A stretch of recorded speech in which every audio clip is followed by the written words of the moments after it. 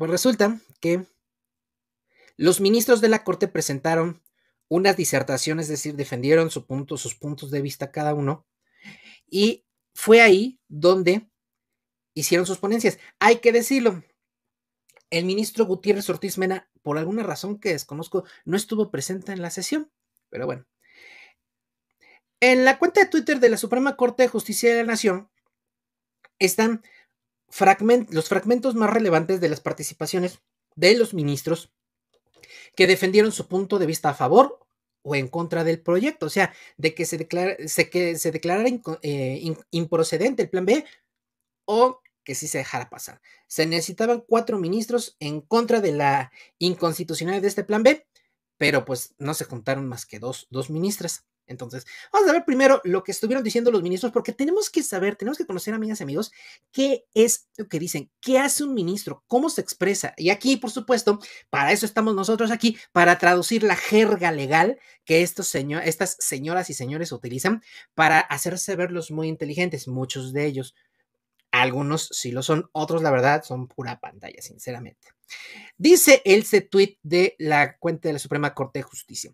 La tramitación injustificada como de urgente u obvia resolución en la Cámara de Diputados y las irregularidades cometidas impidió su conocimiento pleno. Ay, pobrecitos. El ministro Alberto Pérez Dayán, durante la discusión de la acción de inconstitucionalidad sobre las reformas político-electorales. Hay que decirle, el ministro Pérez Dayán fue el que se presentó ahí en la casona de Jicotencatl cuando le entregaron la medalla a Belisario Domínguez a la escritora y periodista Elena Poniatowska, que lo recibieron los del PRIAN con bombo y platillo, para luego recibir un periodicazo de la senadora Cecil de León cuando se pronunció eh, en contra del dictamen de que la Guardia Nacional no podía estar eh, en la CDN y se tenía que regresar a la Secretaría de Seguridad Pública. Bueno, ese es Alberto Pérez Dayana, amigas y amigos, que le tocó su periodicazo en, esta ocasión, en aquella ocasión. Y ahora pues le tocó el desquite. Chéquense lo que un fragmento de lo que dijo. Corre el material.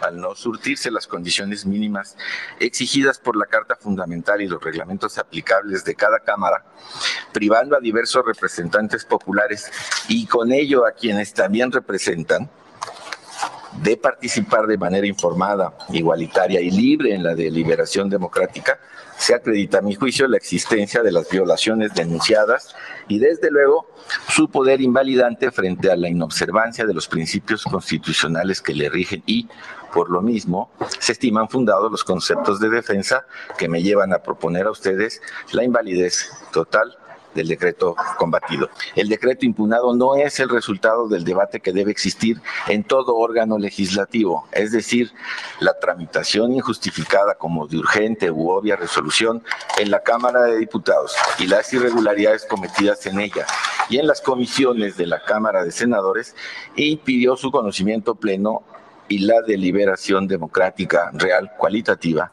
y de fondo del asunto en particular. O sea, el ministro Pérez Dayan básicamente dice, eh, es, el ministro ponente, el que está haciendo la, propuesta, a él le tocó eh, agarrar el toro por los cuernos y él dice, es que efectivamente estos pobrecitos legisladores no tuvieron tiempo de revisar ese folder que les entregaron. No, se, no, no admitió que ese folder, lo que decía, ya estaba en el folder anterior que recibieron desde abril del año pasado, sino que ese folder que recibieron el 6 de, el 6 de diciembre que se aprobó el 6 de diciembre y que se mandó al Senado el 6 de diciembre, ese folder en particular no tuvieron tiempo de leerlo. Entonces, eso es faltar a los tiempos eh, legislativos y les impide a los pobrecitos diputados saber lo que están votando. Resulta que ahora sí les interesa conocer lo que votan, cuando en el pasado les mandaban los, eh, los documentos y los votaban fast track. Ahí están todas las, todas las reformas estas estructurales de Peña Nieto, todas las aprobaron así, en friega y sin revisión. Ah, ya se los dije hace rato, la reforma energética eh, la aprobaron en 14 minutos. Pues que no me vengan a decir, por decirlo suavecito, que no que es que eso nunca se había hecho cuando cada rato lo habían hecho.